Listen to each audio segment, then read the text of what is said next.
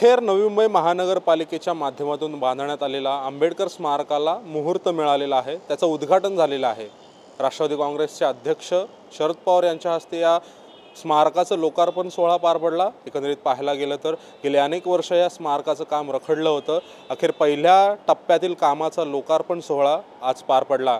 पाहूयात या संदर्भातला नवी मुंबई आवाजचा खास आढावा. अखेर ऐरोली येथील डॉक्टर बाबासाहेब आंबेडकर स्मारकाचे उद्घाटन झाले तर गेली अनेक वर्ष या स्मारकाचे काम या ना त्या कारणांमुळे रखडत होते. त्यातच राजकीय कुरघोड्या आणि प्रशासनाचा चालढकळपणा यामुळे अनेकदा हे स्मारक वादात अडकले.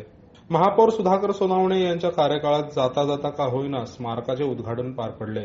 राष्ट्रवादीचे राष्ट्रीय अध्यक्ष शरद पवार यांच्या हस्ते बुधवारी या स्मारकाचे लोकार्पण पार पडले.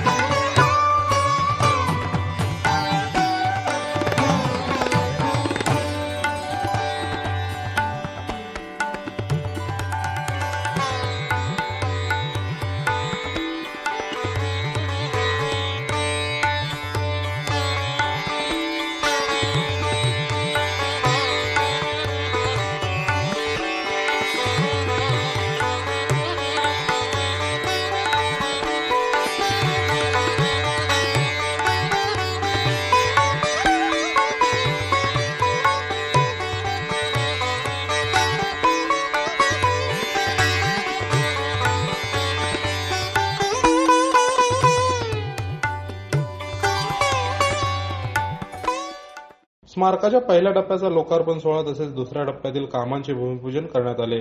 यावेळी बोलताना सुधाकर सोनावणे देखील भावनाविवश झाले. त्यांच्या भाषणातून हे स्पष्ट जाणवलं. इथपर्यंत येताना बऱ्याच वेळेस वाटायचं की एखाद्या मंत्र्याला भेटावं एखाद्या आमदाराला भेटावं. परंतु तेवढी काही आपली ओळख नव्हती. परंतु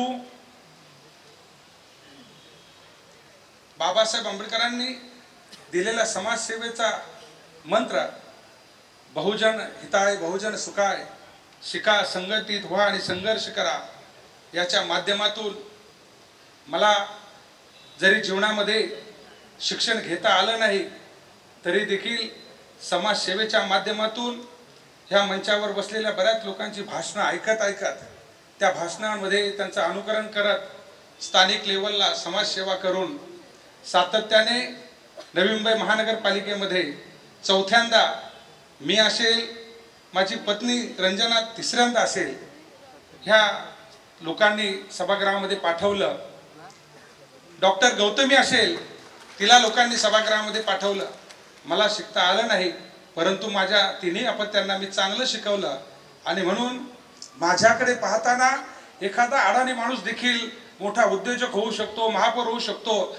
हा गैरसमज लोकांच्या मनामध्ये राहू नये. डॉक्टर बाबासाहेब आंबेडकरांना जर आजही जनमानसात पोहोचवायचे असेल तर त्यांना फक्त बहुजन समाजाचे कैवारी अथवा एक घटनाकार म्हणून पोहोचू नका तर एक नामवंत अर्थतज्ञ म्हणून त्यांची ओळख देखील जगासमोर आणा हे सांगताना शरद पवार यांनी आजच्या व्यवस्थेवर टीका केली. विचार केला बाबासाहेबांची अर्थशास्त्राच्या संबंधीची जी पार्श्वभूमी आहे ती सुद्धा नव्या पिढीच्या समोर आणण्याचं काम केलं पाहिजे. त्यासाठी या स्मारकामध्ये एक विशेष काम विशेष भाग हा निर्माण करण्याच्या बद्दलची आवश्यकता आहे. जेव्हा मी बाबासाहेबला अर्थशास्त्र म्हणतो त्याचं महत्त्वाचं कारण एकोणीसशे सतरा साली बाबासाहेबांनी कोलंबिया विद्यापीठातून ज्यावेळेस डॉक्टरेट केली त्यावेळेस त्या डॉक्टरेटचा विषय हा सामाजिक परिवर्तन वगैरे नव्हता. त्या प्रबंधाचा विषय ब्रिटिशांचे भारताच्या संदर्भातलं आर्थिक व्यवस्थापन आणि त्याचा भारतीय समाजावर परिणाम या संबंधीचा हा विषय त्या त्यांच्या डॉक्टरच्या संबंधीचा होता. बाबासाहेबांनी लंडन स्कूल ऑफ इकॉनॉमिक्समध्ये एकोणीसशे एकतीस साली. त्यांना एम एस सी देण्यात आलं ते एम एस सी कशासाठी देण्यात आलं त्यांनी त्यांचा प्रबंधाचा विषय होता की provisional decentralization of imperial finances in India या देशामध्ये ब्रिटिशांचं राज्य असताना भारतातल्या एकंदर अर्थकारण अर्थव्यवस्थेच्या संबंधीची स्थिती ही ब्रिटिशांनी कशा पद्धतीने केली होती. या संबंधीचं चित्र हे त्यांनी त्या ठिकाणी मांडलेलं होतं आणि आणखीन एक महत्त्वाची गोष्ट की लंडनच्या युनिव्हर्सिटीने बाबासाहेबांना doctor of science and economics या संबंधीची पदवी दिली.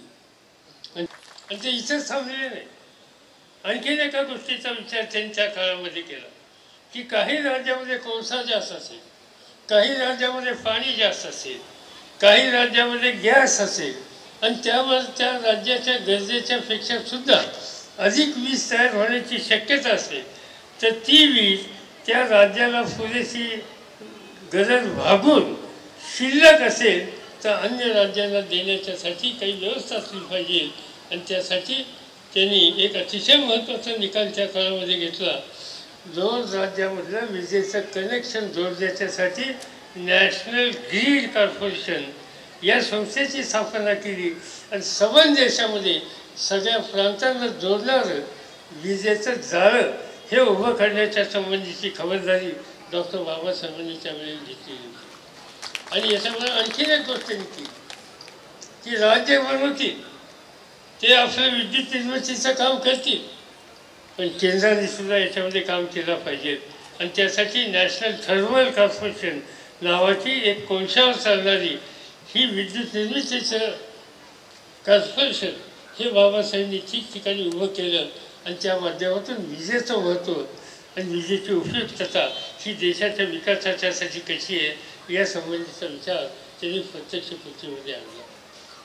आणखी एका गोष्टीचा विचार बाबासाहेबांनी केला आणि तो विचार म्हणजे पाणी. ज्या वेळेला मुंबई महानगरपालिकेच्या अनेक उत्तम कामाचा आम्ही ज्या वेळेला आढावा घेतो त्याच्यामध्ये मोरमेचं धरण मोरमेच ना?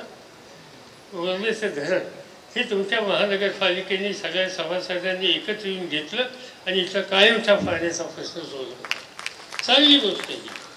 पण हा पाण्याचा विचार बाबासाहेबांनी स्वातंत्र्याच्या आधी केला.